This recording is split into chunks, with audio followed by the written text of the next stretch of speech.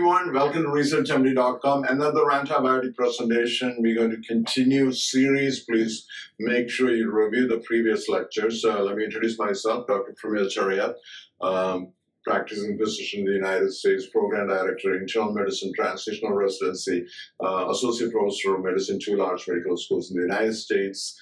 And um, so we're going to continue our journey into antibiotic. Okay, we the topic uh, is about the antibiotic blocking the protein production.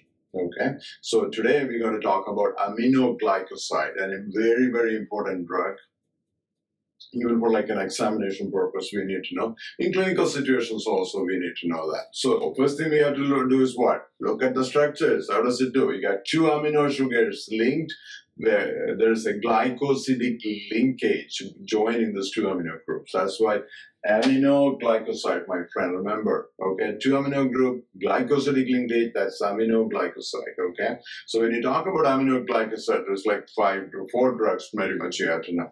So you got streptomycin, gentamicin, tobramycin, and amikacin, okay? It does a good gram-negative coverage not like, I mean, I would say aerobic gram negative coverage, I mean, overall together, and it does cause like some toxicities, but before we just jump into it, we know the structure. The next thing is how does it act? Okay, the mechanism of action is very, very important for examination purpose. Okay, aminoglycoside they uh, they bind to the amino site of the 16S subunit of the 30S ribosomal subunit. Okay, the main keyword is uh, 30S subunit. They act on it, and uh, misreading the genetic code, inhibition of translocation, and final the peptide synthesis is affected.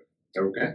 Now, it does have like another property. Initially penetrate the organism by disruption of the magnesium and calcium bridges of the LPS, okay, lipopolysaccharide.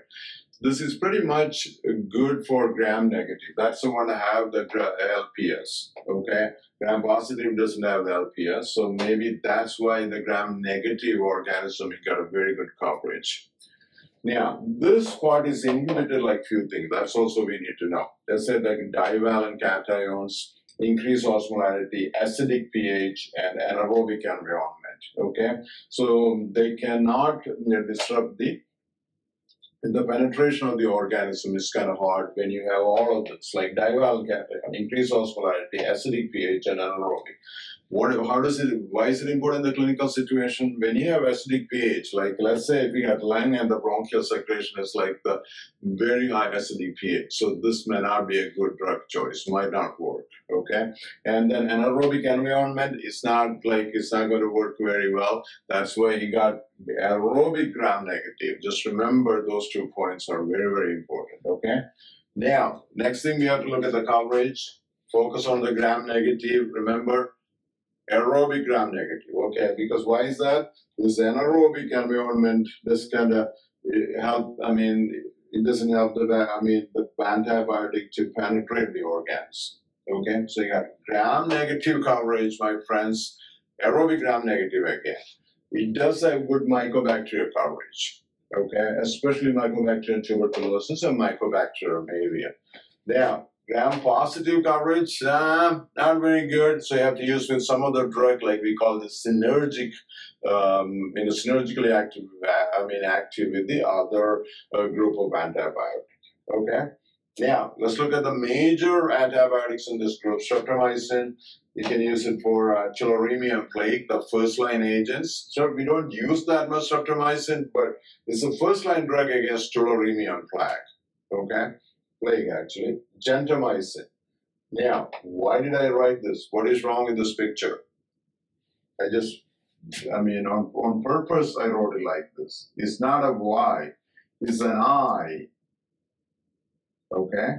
So people make the common mistake, gentamicin as Y, but it's not correct. It's gentamicin. Streptomycin is Y, Uh, gentamicin is I, tobramycin is Y, and amic and amikacin no wine anyway. Okay, so remember that. So it's very important. Um, so in streptomycin, tularemia plague, first line agent.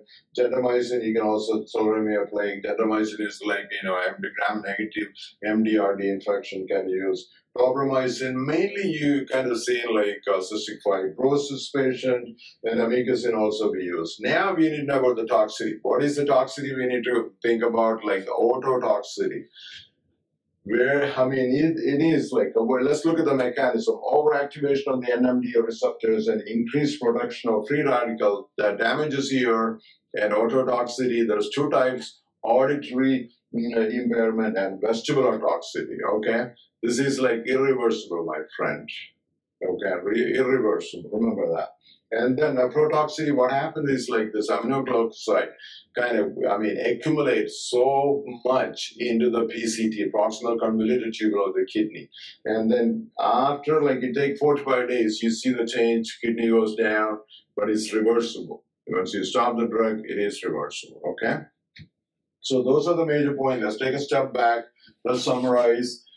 Remember, it's the antibiotic blocking the protein production. How does it block?